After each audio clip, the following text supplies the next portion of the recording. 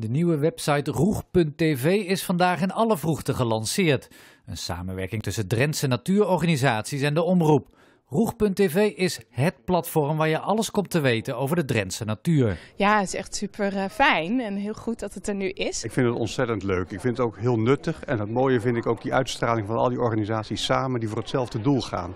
De kwaliteit van natuur en landschap in Drenthe. Kan die? Ja. Kan die? Ja. ja.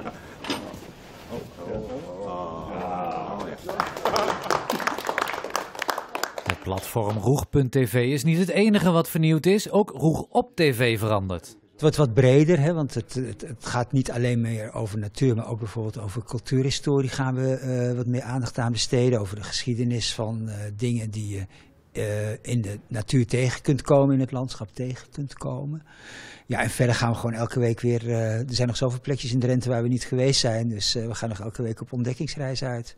Goedenavond, welkom bij weer een nieuwe aflevering van Roeg op de schaatscase. Hey, hey, box. Hoe goed is dit? goed, hè, hey. Ik hoop dat mensen het een belangrijk programma vinden omdat ze de natuur belangrijk vinden. En uh, er gebeurt heel veel in de Drentse natuur. Uh, er zijn allerhand dingen die nieuw zijn, die ontwikkeld worden, maar ook allerhand bedreigingen. Uh, ja, ik merk wel dat mensen zich daar ook zorgen om maken. Hè? Wat er gebeurt met uh, nou, insecten, dat speelt op dit moment heel erg. En ik hoop dat we daar met Roeg een beetje een, uh, uh, ja, een steentje bij kunnen dragen. En met dit nieuwe platform is Roeg niet alleen meer een televisieprogramma, maar heeft het ook een interactieve website.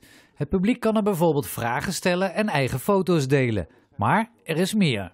Vind ik heel leuk dat er nu een website is met een pagina waar je ook voor kinderen allerlei activiteiten, doetips, maar ook alle excursies die in, het, in onze provincie worden georganiseerd ineens op één pagina kunt vinden. Dat lijkt me zo prettig, want ik heb zelf kinderen.